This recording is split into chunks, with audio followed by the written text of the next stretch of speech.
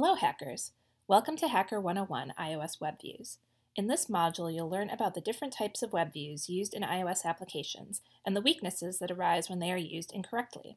We'll also look at how to identify web views in an application and exploit simple cross-site scripting vulnerabilities. The demos and exercises in this module require an iOS device to follow along. I'll be using a jailbroken device in the video, but you can also use a jailed device if you follow the instructions we've provided. In mobile applications, a web view is an embedded browser used by the application for a number of purposes. The most common are to allow the user to browse to a website without leaving the application, or to display static content from either the web or a local file, for instance, showing a privacy policy that is loaded from a website. You'll also encounter applications using web views to present a consistent interface on both Android and iOS, and to provide a way for users to leverage single sign-on credentials from their browser. The oldest WebView class that you'll still encounter in the wild is UI WebView. Apple deprecated UI WebView in iOS 8 in favor of more secure alternatives, so it isn't as common, especially in newer apps. In 2020, Apple stopped allowing UI WebView in new App Store submissions, but it still allows it in updates to existing apps. UI WebView is an attractive target for exploitation due to a number of weaknesses in its security profile. By default, the configuration of a UI web view can't be modified to disable JavaScript execution or, to, or access to local files. File origins are particularly dangerous because there is no same origin policy applied to those URLs. UI WebView also runs in the application's process, which means that something like a memory corruption exploit would directly affect the application. In fact, under the right conditions, UI WebViews can be vulnerable to universal cross-site scripting. Depending on the context, this can have severe consequences. The vulnerability occurs when the application loads content using a method that has a base URL parameter. If the base URL is set to null, the same origin policy is disabled for the loaded page. As a result, the contents of the web view can access any origin. Consider, for instance, the content reading a file from the app's file system and sending it to an attacker-controlled endpoint. Starting in iOS 8, Apple introduced WK WebView to replace UI WebView. WK WebView has significant security improvements, including more granular control over the configuration, a more restricted default posture, and adherence to the same origin policy. WK WebView also runs out of process to further protect the application. Both UI WebView and WK WebView were intended for use when the application needs full control over the presentation of the WebView and visibility into the requests and responses. However, there are times when an application either doesn't need that level of control or doesn't want it. SF Safari View Controller was introduced in iOS 9 to meet that need. It provides an experience very close to using Safari on the device, but allows the user to browse without leaving the app. In iOS 9 and 10, SF Safari View Controller shared data with Safari, so apps often used it to facilitate logging in with credentials or cookies that Safari already knew. However, in iOS 11, this ability was restricted so an app's instance of SF Safari View Controller only had access to its own data. Instead, Apple introduced SF Authentication Session in iOS 11, and later AS Web Authentication Session in iOS 12 for authentication-specific functions. These session classes are intended for use with single sign-on mechanisms or third-party authentication like OAuth. The key differentiators between the different web views come down to what an app can and can't access. In WK WebView and its predecessor UI WebView, the app can see all traffic. This would not be a good choice for third-party authentication.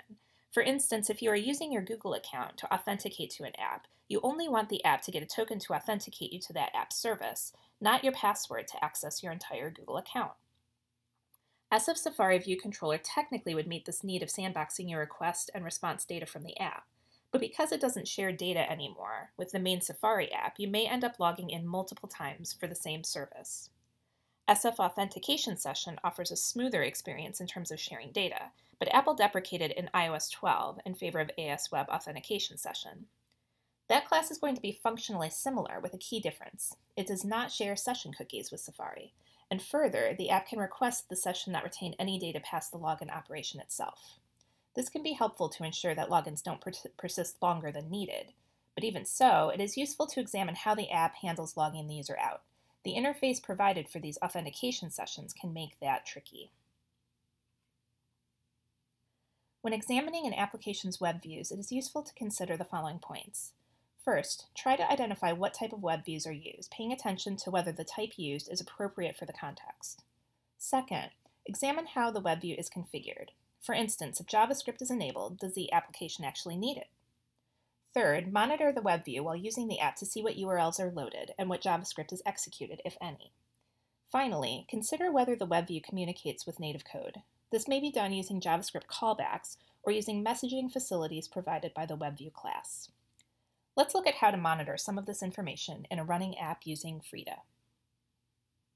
I've connected my jailbroken iPad to my computer over USB and launched the eBay application for this example. I'm using the dash M flag to tell Frida that I want to trace Objective-C methods that match the specified pattern. First, I want to match both class and instance methods, so I use a wildcard as the first character. I'd like to match any class that ends in WebView, which should trace both UI WebView and WK WebView. Finally, I want to match any method that starts with load. I also specified a pattern to match SF Safari View Controller methods starting with a init and any class ending in authentication session with a method starting with a init. I've chosen all of these because they will allow us to see the URLs loaded in each web view. Once frida-trace has finished instrumenting the application, we can see that 22 functions were found that match the specified patterns. There are methods from UI WebView and WK WebView, and also an unfamiliar class that extends one of the matching classes. There are also matching methods from SF Safari View Controller and both authentication session classes. I'll start clicking around in the application. As I do that, frida-trace will log some output anytime one of the traced functions is invoked. Now I know which types of web views are used in different areas of the application. However, I'd like to get more information about what is loaded in each web view. To do that, I'll edit each of the JavaScript handler files that Frida generated to instrument the application.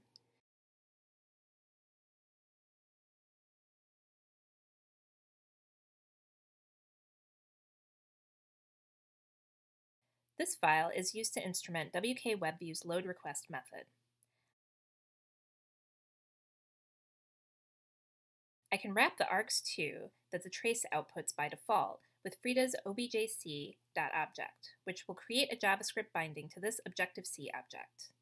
I'll then call toString to get a human-readable representation of the object. If I rerun the trace again, the modified handler will be loaded.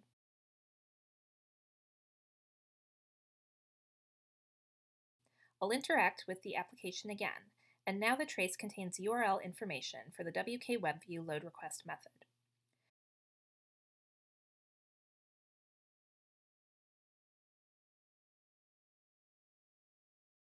Other methods still show only pointers, so I would need to edit each of those handlers to get more visibility into those requests.